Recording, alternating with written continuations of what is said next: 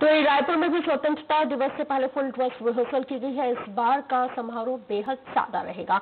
न march past किया जाएगा और न ही कोई सांस्कृतिक कार्यक्रमों का आयोजन होगा। केवल 27 मिनट का ये पूरा समारोह होगा तो वहीं मुख्यमंत्री भूपेश बघेल ध्वजारोहण के बाद प्रदेश की जनता को संबोधित करेंगे। वहीं इस बार स्कूलों में भी केवल शिक्षक ही ध्वजारोहण करेंगे। ऑनलाइन माध्यम से छात्र जुड़ सकेंगे। स्वतंत्रता दिवस में होने वाले मुख्य समारोह के पहले राजधानी रायपुर के पुलिस परेड ग्राउंड में अंतिम रिहर्सल किया जा रहा है। कोरोना संक्रमण के चलते इस बार कार्यक्रम में काफ़ी कुछ बदलाव किया गया है। इस बार न तो सांस्कृतिक कार्यक्रम होगा, न मार्च पास्ट किया जाएगा।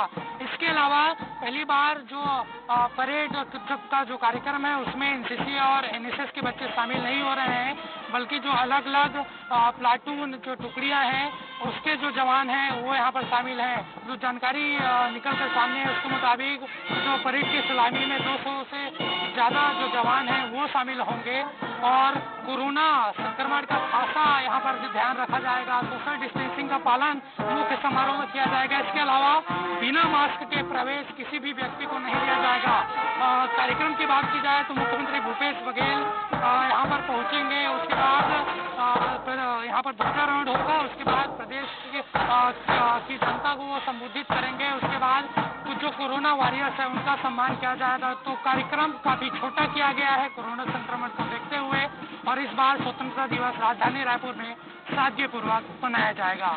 कैमरामैन रेखराम के साथ हेमंत शर्मा, स्वराज एक्सप्रेस, रायपुर। स्वतंत्रता दिवस का परेड का स्वरूप थोड़ा सा भिन्न रहेगा।